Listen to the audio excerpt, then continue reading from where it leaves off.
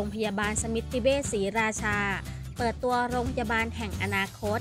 นำเทคโนโลยีและระบบ AI อำนวยความสะดวกในการดูแลสุขภาพของคนทุกเจเนเรชันแก้ปัญหาการมาหาหมอที่ยุ่งยาก โดยได้ประกาศเปิดตัวอย่างเป็นทางการ พร้อมกันทั้งโรงพยาบาลบนฟ้า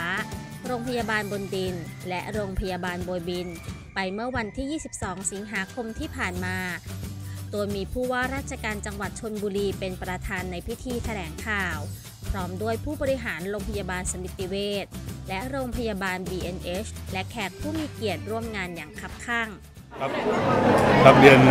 สื่อมวลชนทุกทุกท่านนะครับเรียนท่านประธานบริหารของนิติเวชท่านผู้ในการโรงพยาบาลสมิติเวชทุกสาขาทางวันนี้ผมในนามของชาวพี่น้องชาวจังหวัดชลบุรีครับรู้สึกยินดีนะแล้วก็เป็นเกียรติที่ได้มาร่วม การเปิดกิจกรรมโครงการดีๆ ของโรงพยาบาลสมิติเวชในเรื่องอการพัฒนาคุณภาพในการบริการนะซึ่งมีสามแนวทางก็คือเรื่องอทางบนฟ้าคือบริการทางผ่านทางระบบเทเลนะครับบนดินก็คือการพัฒนาระบบการทหารที่โรงพยาบาลเอง แล้วก็บยบินก็คือการพัฒนาระบบไปเยี่ยมผู้ป่วยที่บ้านนะครับซึ่งทั้งสามแนวทางนี้เอ่อเป็นสิ่งที่ตอบโจทย์สำหรับพี่น้องชาวจังหวัดชลบุรี ซึ่ง เราเป็นเมืองที่มีนิคมอุตสาหกรรมนะครับรวมแล้ว 20กว่าแห่งนะฮะมีประชากรทั้งแฝงทั้งประชากรประจำเกือบ 3 ล้านคนนะฮะแล้วก็เป็น EEC นะครับหนึ่งในสามจังหวัดของการพัฒนาภาคตะวันออกระเบียนเศรษฐกิจภาคตะวันออกนะครับซึ่งตรงนี้นะครับเป็นการตอบโจทย์สำหรับพี่น้องที่มาทำงานผู้ประกอบการซึ่งมีทั้งชาวไทยและชาวต่างประเทศเอ่อเป็นจำนวนมาก โดยเฉพาะ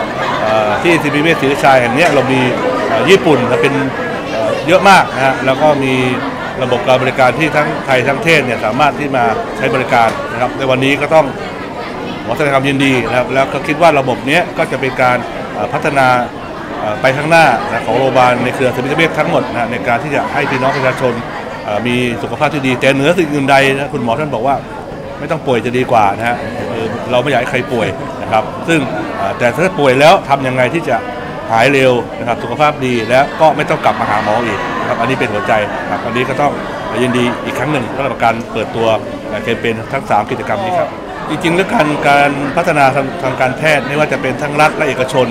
ก็มีเป้าหมายเดียวกันในการบริการประชาชนให้เกิดประโยชน์สูงสุด เพียงแต่ว่าโรงพยาบาลรัฐอาจจะมีประชาชนมากนะครับระบบเนี้ยถ้าเราเอาไปปรับใช้กับโรงพยาบาลรัฐเนี่ยก็จะลดการแออัด ลดการระบบนัดหมอที่มาโรงพยาบาล อันนี้ก็จะเป็นาการเพิ่มประสิทธิภาพในการให้บริการของรัฐบาลด้วยนะครับซึ่งตรงนี้ผมคิดว่าทางวงการแพทย์เองก็คงโดยเฉพาะกระทรวงสาธารณสุขก็คงมีแนวคิดที่จะทำแล้วล่ะเพียงแต่ว่าเราต้องค่อยเป็นค่อยไปเพราะมันติดเรื่องอ่าทั้งงบประมาณทั้งระบบ ซึ่งต้องต้องใช้เป็นจำนวนพอสมควรเหมือนกันนะแต่เอกชนมีความพร้อมก่อนก็ให้เป็นนำร่องก่อนนะครับ เพื่อ ให้ดูว่าทำแล้วเกิดประโยชน์จริงๆนะครับอันนี้คิดว่าไปกันได้ก็จริงๆโครงการนี้เนี่ยเป็นโครงการเพื่อชุมชนและเพื่อประเทศชาติจริงๆ ถ้าเราคิดว่าโรงพยาบาลบน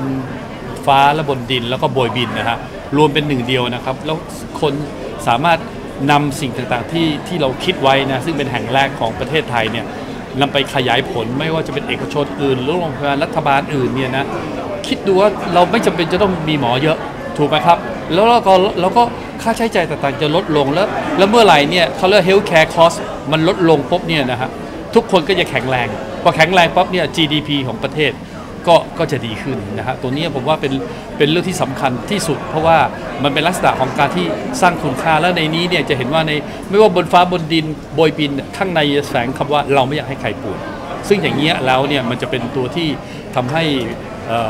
คนเนี่ยแข็งแรงนะครับเป็นประเทศชาติมีความเจริญนะฮะเพราะแนวคิดตัวนี้เป็นแนวคิดที่ผมคิดว่านอกจากจะเป็นส่วนของประเทศชาติในส่วนของชุมชนเนี่ยใครต่อใครเวลามาก็สะดวกนะฮะไม่ต้องไม่ต้องเดินทางมา แล้วก็ตอบโจทย์ให้กับทุกเจเนอเรชันคนที่ยังจะมาหาหมอก็มา แต่ท่านมาปุ๊บตอนนี้เราก็จะเป็นเรียกว่าบนดินเนี่ยแต่เป็นแบบแบบยุคดิจิทัลคือเป็นแบบสมาร์ท OPD smart IPD ที่ที่เราครบเครื่องที่สุดแล้ว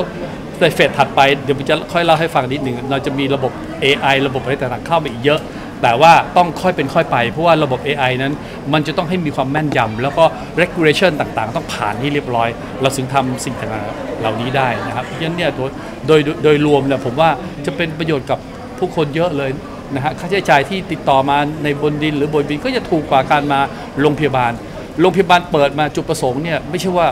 ไปให้คนมารักษา สิ่งที่เปิดโรงพยาบาลมา คือทำยังไงให้คนไม่ป่วย คนไม่ต้องเข้าโรงพยาบาล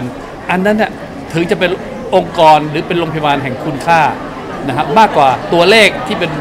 โรงพยาบาลแห่งความสำเร็จ เพราะฉะนั้นผมบอกแล้วว่าโรงพยาบาลแห่งคุณค่านี่มันยิ่งใหญ่กว่าโรงพยาบาลแห่งความสำเร็จหลายเท่าตัวคือจะไปคิดว่ามันลดลงหรือไม่ลดลงจุดประสงค์ถ้าเราเราสร้างคุณค่าเนี่ยครับมันจะบอกต่อนะฮะแล้วก็วอลลุ่มเนี่ยมันจะเยอะขึ้น แล้วเราเอื้อคนเยอะขึ้น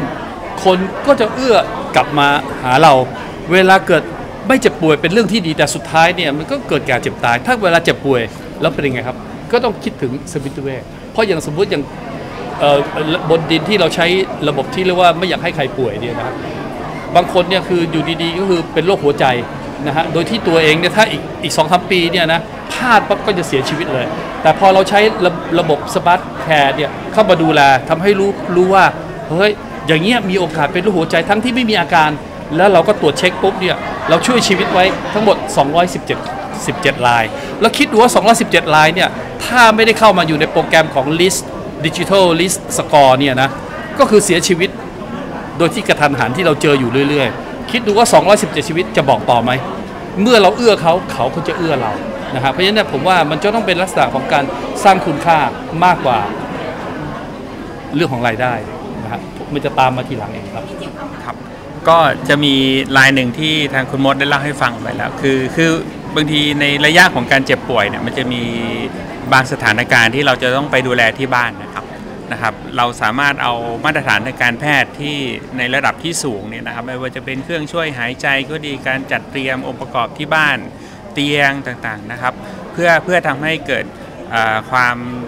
ความสะดวกสบายและเหมาะสมสำหรับคนไข้ในแต่ละคนนะครับอันนี้เราทำมาแล้วเอ่อเนื่องจากผมเป็นหมอผ่าตัดผมยกกรณีหมอเป็นเคสผ่าตัดแล้วกันนะครับ มี VIP เราท่านหนึ่งอะมาผ่าตัดกระดูกสันหลังเสื่อมกับเรานะครับ ซึ่งปกติแล้วถ้าผ่าแบบเนี้ยส่วนใหญ่อยู่โรงพยาบาล 7 วันถึง 10 วันนะกว่าจะเริ่มเดินกว่าจะเริ่มอะไรต่างๆนะเราก็สามารถที่จะออกแบบแผนการรักษา ท่านอยู่โรงพยาบาลกับเราแค่ 3 วันเองนะครับ ที่เหลือนะไปดูแลที่บ้าน คุณหมอเราตามไปดูแลที่บ้าน คุณพยาบาลตามไปดูแลที่บ้าน ทางที่บ้านเองก็ก็เอ่อเขาเรียกมีความสุขมากกว่าถูกไหมฮะไม่ต้องไปไปมามาทางคุณแม่เองก็มีความสุขนะครับเพราะท่านอยู่ที่บ้านเนี่ยท่านคุ้นเคยสะดวกสบาย แล้วก็อย่างที่ตัวเลขชัดเจนก็คือฟื้นตัวเร็วนะครับ ปรากฏว่า VIP ท่านเนี้ยอาทิตย์หนึ่งเดินได้แล้วนะครับ เรายังมีวิดีโอคลิปอะที่ที่ท่านเดินให้เราดูและท่านก็ขอบคุณทุกคนเลยขอบคุณคุณหมอ ขอบคุณระบบของเราขอบคุณตัว c i t y a at Home แล้วปัจจุบันท่านก็ยังใช้อยู่ ท่านก็เรียกเราไปบริการในรอบข้างบ้านท่านนะครับ ท่านก็แนะนำคุณป้าคนนี้เป็นอย่างนั้นอย่างนี้ใช้สวิตเวทไหมอะไรเงี้ยนะครับก็ก็อันนี้ก็เป็นความประทับใจอย่างยิ่ง แต่ที่ท่านอาจารย์เชยรัตน์นำเรียนไป ซึ่งพวกเราเนี่ยเห็นด้วยอย่างยิ่งเลยก็คือคือ ไอ้เรื่องเจ็บป่วยเนี่ยบางครั้งเนี่ยมันมีเหตุปัจจัยของมันถูกไหมแต่ระหว่างที่ถ้าเราดูแลให้การเจ็บป่วยเนี่ยป้องกันได้ก็ดีกว่า แต่ถ้าป่วยแล้วเนี่ยเรามีมาตรฐานการดูแลที่ที่แตกต่างจากที่อื่นนะครับ ใช้เทคโนโลยีช่วยเนี่ยครับจะทำให้คนไข้ได้ประโยชน์สูงสุดครับ